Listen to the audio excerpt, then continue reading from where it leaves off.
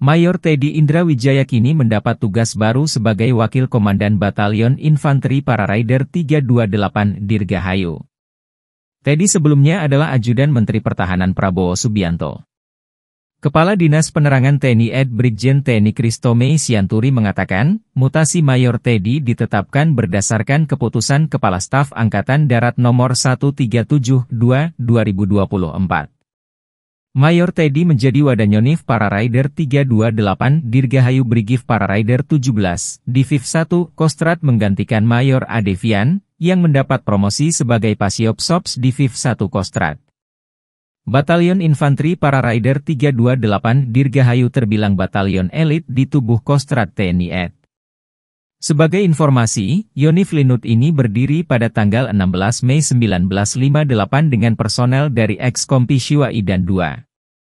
Batalion ini terdiri dari Kompi A, B, C, Kompi Markas dan Kompi Bantuan. Satuan ini bermarkas di Cilodong, Kota Depok, Jawa Barat, dengan kekuatan personel lebih kurang 730 anggota. Berikut ini adalah tugas operasi yang pernah diikuti oleh anggota Yonif para Rider 328. Penumpasan di Tegi dan penangkapan Kartoswiryo.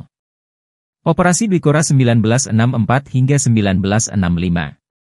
Operasi penumpasan G30 SPK 1965. Operasi Seroja di Timor Leste 1976 hingga 1995. Operasi perdamaian di Kamboja 1992. Penumpasan Gerakan Aceh Merdeka 2002. Operasi perdamaian di Lebanon 2015-2016. Satuan di bawah Brigif Para Rider. Yonif Para Rider 328 merupakan satuan di bawah Brigade Infanteri Para Rider 17, Sakti Budi Bakti disingkat menjadi Brigif Para Rider 17, SBB atau Brigif PD 17, Kujang 1 yang merupakan satuan setingkat brigade dalam jajaran Divisi Infanteri 1, Kostrad.